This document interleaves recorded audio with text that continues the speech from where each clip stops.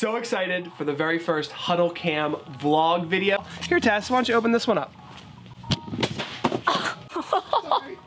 oh, today we're talking about USB video tools for educators. Hey, Tess, do you want to be in this video too? You want me to? Yeah. Let's break it down for them. There's three reasons that you want to be watching this video right now. First is if you're an educator, looking for simple to use plug and play technology. Second type of person that'd be interested in this video is an integration company. And the third is just because you like us, because we are pretty awesome. Thank you. So we're taking you guys to our warehouse in Downingtown where we have tons of USB plug and play products for educators, tools for video conferencing, video production, recording, and that ah, nature. I want one of these. Look at that. It says take one. Don't mind if I do.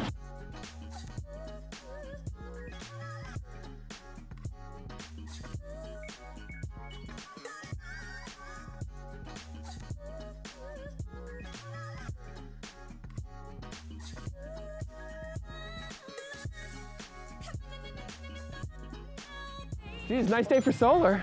Yeah, we're 100% powered, right? I think it's a little more than 100%. All right, we made it. So here we are in Downingtown at the HuddleCam HD warehouse.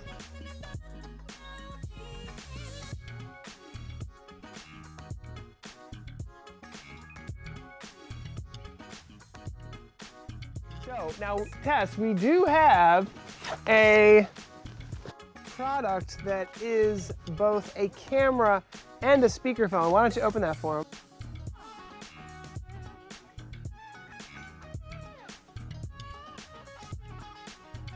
The HuddleCam Go has the ability to be a webcam for USB conferencing and recording, a microphone for your system, and then also a speakerphone so you can play music out of it as well. Let's start with the HuddlePod Air. We're gonna show you USB plug and play speakerphones and audio microphones from other manufacturers as well that we recommend. Here, Tess, why don't you open this one up?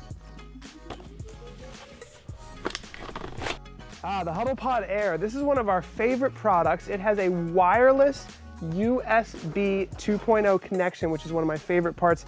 Here's the speakerphone, which has a battery inside that allows it to be completely wireless. But my favorite part is actually this part here, the wireless dongles. You simply plug this wireless dongle USB into your computer and it works up to 30 feet. So you can have this in any classroom, give it to a student, put it on a table, put it on your desk, anywhere you need to, and it's completely wireless and rechargeable. So this is the HuddlePod Air. Next, we're gonna take you up to the other products that we recommend from our partners. You know, HuddleCam is not the only, you know, company that creates USB audio solutions. It's so let's go take a look. It's not? Let's go take a look at some of our partners that we also recommend that have great products. Come on.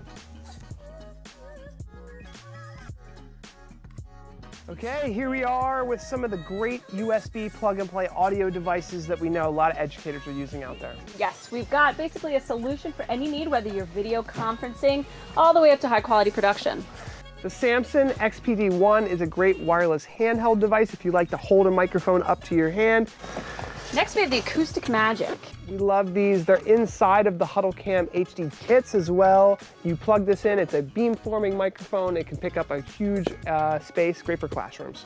If you already have an XLR microphone uh, that you've used, you know, the SM58, some of those really great little microphones, this Shure MVi will take that and turn it into USB. Phoenix Audio, we love these guys. They have a lot of great products and the Spider is incredibly popular. This is a USB model, comes in black and white. This is a Phoenix Audio Duet. This is another USB speakerphone. This is a good little personal speakerphone if you're making uh, screen recordings at your desk where you want to record stuff. This is a great little unit as well. So that's the audio we have for you. One, two, three, four, five, six USB audio devices. They all have different solutions. Let's go over to the camera section now. It's the HuddleCam HD 3XA. Let's open this one up because this one specifically is of a lot of interest because it's a camera and a microphone. This is one of my favorite products. You guys requested it. Why? It's your favorite HuddleCam HD camera, the 3X is top selling unit that we have, but we put microphones into it. So you plug this into your computer, it's USB 2.0. You have the ability to zoom in to different areas. You have the ability to pan and tilt and kind of capture the action that's going on. And you can plug it, you can capture all the audio in your room. It's almost like having an acoustic magic built into our most popular 3X camera model. So it's a really great, great camera. Let's take things back to our office. Okay, video software. Yes, we're gonna be talking about three types of software today. There is video conferencing software, There's video production software. and then there's video editing software. The first thing that we're gonna talk about is one of our greatest assets, which is Zoom video conferencing. Yeah, Zoom, everyone's talking about it. You're gonna see it at InfoComm, you're gonna see it at ISTE. You probably have seen something like this which is an awesome video conferencing system. It's super affordable. Now, some of the ways that educators are using Zoom, obviously, is for distance learning, so that if you have a really important lecture, you can connect them to your classroom. Teachers are using office hours via scheduled meetings on Zoom. Zoom is also used for recording, so you can record mm -hmm. everything that's going on. Yeah, we're gonna show you a free piece of software today that you can use to do some high-end production tactics while recording a video live. That's right. This free piece of software is called Open Broadcaster Software. It has all the tools that you would want to have like an intro video, a lower third, you could do a green screen with a virtual set, recording a school play, um, or just recording a, maybe a higher production level lecture or capturing. Perfect example is the virtual set you just showed. And finally, we have video editing. Yes, so video editing. This is, we're gonna show Adobe Premiere. Adobe Premiere is one of our favorites because it allows you to edit software really, or edit video really quickly. Come back from some type of event where you've got a lot of footage, but you need to slice it up and turn it into something nice that the students will be able to watch. Tons of options out there to integrate the USB options we talked about with software. That is our video. I hope that you enjoyed it. We're on the road to InfoComm. Hopefully we'll meet a lot of you either there or at ISTE. So don't forget to subscribe because we're gonna be tackling a lot of these different scenarios and solutions in videos like this. So like us and uh, follow us on LinkedIn as well because that's where we're gonna be talking. Alrighty guys, we'll see you next time. See ya. Let's go.